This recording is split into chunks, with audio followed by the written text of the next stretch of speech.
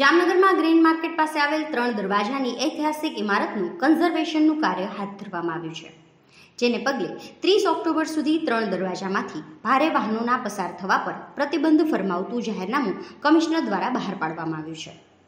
Grain માર્કેટમાં loading unloading માટે આવતા જતા ટ્રક સહિતના વાહનો વૈકલ્પિક રૂટનો ઉપયોગ કરી રણજીત રોડ તરફથી દીપક ટોકીસ પાસેથી ગ્રેન માર્કેટ આવી શકશે.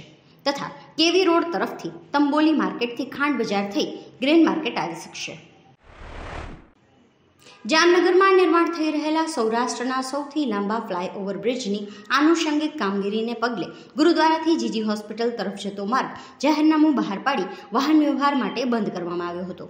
લગભગ સવા મહિના પછી આજે આ માર્ગ વાહન વ્યવહાર માટે પુનઃ ખુલ્લો મૂકવામાં આવ્યો છે. દ્વારકાના જગત મંદિર નજીક આવેલ જોધાબા માણેક ચોક પાસે અમુક યાત્રાળુઓ અને એક રિક્ષા ચાલક વચ્ચે શરૂ થયેલ બોલાચાલી ઝપાઝપી સુધી પહોંચી જતા તથા મહિલાઓ પણ હિંસામાં સામેલ થતાં ટોળું ભેગું થઈ ગયું હતું. પોલીસે રિક્ષા ચાલકની અટકાયત કરી તપાસ આરંભી છે.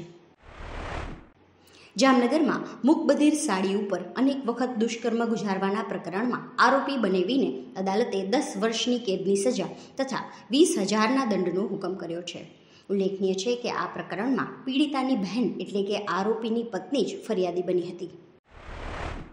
શ્રી હાલારી વિશા ઓશવાળ મહાજન જામનગરના પ્રમુખ કમલભાઈ ગોસરાણીના દાદી ગંગા સ્વરૂપ કંકુબેનનું એકસો ત્રણ વર્ષની વયે અવસાન થતાં ગોસરાણી પરિવાર દ્વારા તેમની પાલખી યાત્રા યોજવામાં આવી હતી.